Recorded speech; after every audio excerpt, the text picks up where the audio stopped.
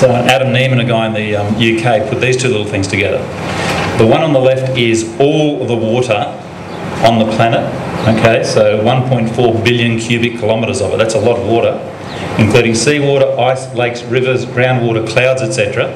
It's shown on the same scale as the Earth. Now, when you look at it up there, there's not a lot of water. Okay, well, there's definitely a limited amount of it. The one on the right is all the air. Okay, all the atmosphere as if it was at ground level. Okay, as a ball. Okay, so again, it's big, and we're sitting in here, but you can see there's not that much of it. There is a finite limit to it. Okay?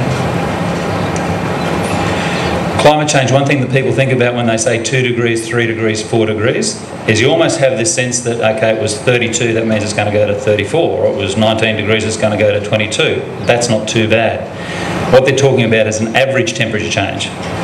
Okay, so when you start to look at why some of the impacts and the questions before about ice sheets melting, etc., you have a look at that. That's projections for what a four degree change means on average.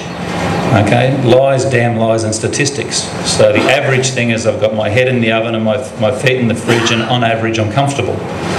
Okay, but I'm in trouble. So if you look up there, what you'll see is that the changes of four degrees average is actually a 16 degree increase in the Arctic regions, six to seven degree increase in the US Corn Belt, and about six degrees in the Himalayas and in Australia. So if everything else is going up by six, where are the less than fours to get it to average? Well, it happens to be over the oceans. Okay, well, there's not a lot of us living in the ocean, so a, four de- a two degree average temperature is more on land, less on the water, so the impact starts to scale out a bit. Okay, so there's just a couple of things on that. All right, we've heard methane emissions in parts per billion and um, carbon dioxide in parts per million. And it's pretty hard to get a sense around that. So pre-industrial revolution was 280, we're now at 380 to 400, and we look like we're going to 550 or beyond. Okay, what is a part per million? So say, okay, we've gone from 280 to 380. Well, if there's 280 parts per million carbon dioxide, that means there's 999,800 um, or 720 that aren't. So we're really not changing it a lot. Remember the size of the atmosphere. One part per million of carbon dioxide is 7.8 billion tonnes of carbon dioxide. Okay, so every one part per million increase in carbon dioxide is an extra 7.8 billion tonnes into the atmosphere. Now there's some equations there. Carbon, a carbon dioxide molecule is one carbon and two oxygens. So when you bring it back to the weight of carbon, it's actually 2.13 billion tonnes of carbon. Okay, so every time CO2 concentration increases by one part per, per million, we put another 2.1 billion tonnes of carbon into the atmosphere. Okay, now 2.13 billion tonnes of carbon is a block of graphite which is pure carbon, a kilometre long by a kilometre high by a kilometre wide. Okay, so every time we go up one part per million, there's a one cubic kilometre block of graphite pops up in the air. If that had been happening consistently and that's the way it was showing up, I think we'd be showing some more interest in it.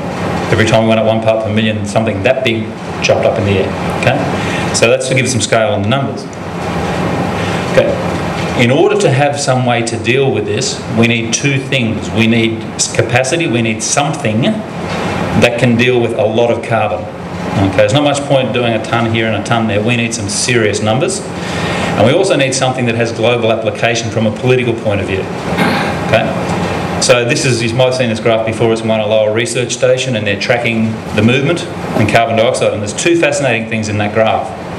The first thing, which is very depressing, is the general trend. Okay, the general trend of carbon dioxide is increasing, bottom left to top right. Okay, so that's we're going through here. The fascinating thing about it is what's it doing every year? It's doing this little up and down. Okay? So it's not just steadily getting worse. Every year on a cycle, it's going up and then dropping and going up and then dropping.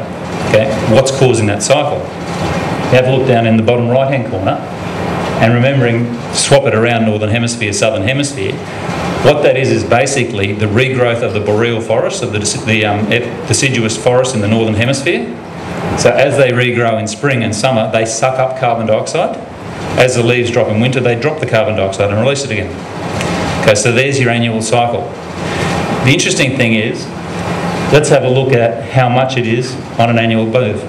Okay, and that graph, that concentration is moving about six percent, six to six parts per million. Okay, and if it's moving six parts per million, and every part per million 7.8 billion tonnes of carbon dioxide, or 2 billion tonnes of carbon, what it means is that the trees in the northern hemisphere growing leaves and then dropping leaves every year are removing from and releasing to the atmosphere 13 billion tonnes of carbon.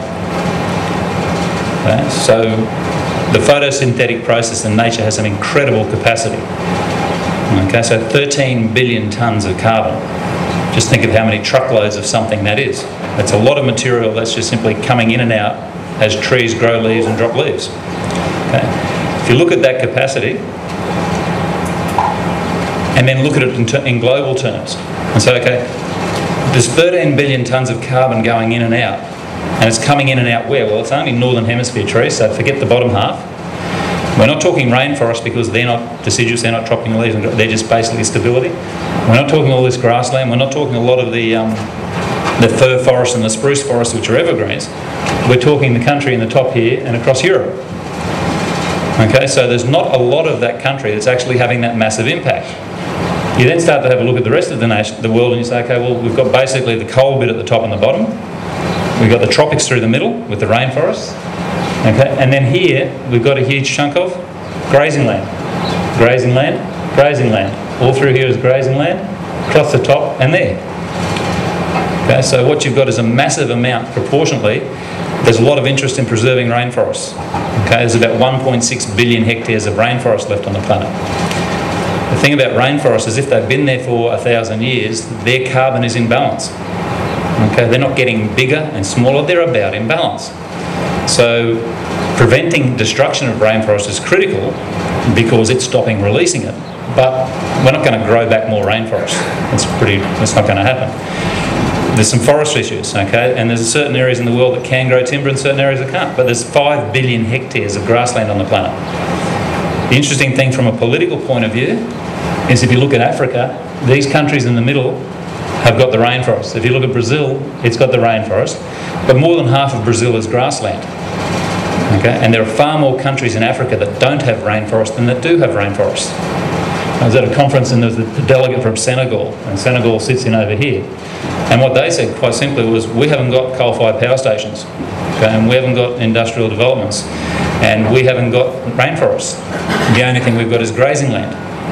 Unless some sort of grazing gets brought into the climate change side, there's no way for us to participate. Okay?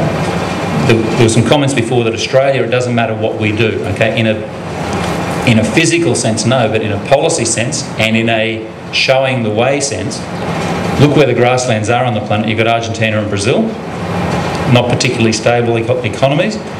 You've got Southern Africa. Okay, well, I don't know any, many people who would be willing to invest long term in development projects in Southern Africa. Um, you've got the US, even in the US, you've got your, your um, Indian Lands Bureau, your Federal Lands Bureau, your, your forestry services. You've then got all this country through here.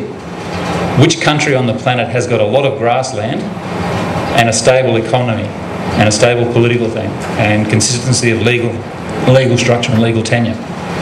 Okay? That's the opportunity that Australia agriculture has, and specifically Australian grazing land.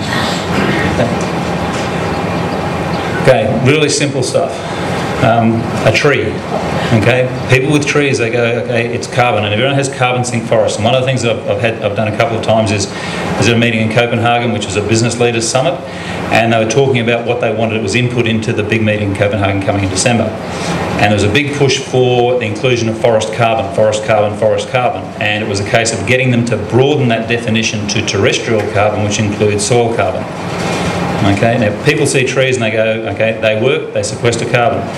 You think about the biggest tree you've ever seen. It's big, it's solid, it's heavy, you can hit it with a bulldozer. Okay, and it weighs a couple of hundred tons and it started with a tiny little seed. Okay, and it's made of stuff. It's got a couple of hundred tons of stuff in it. Where did the stuff come from in the tree?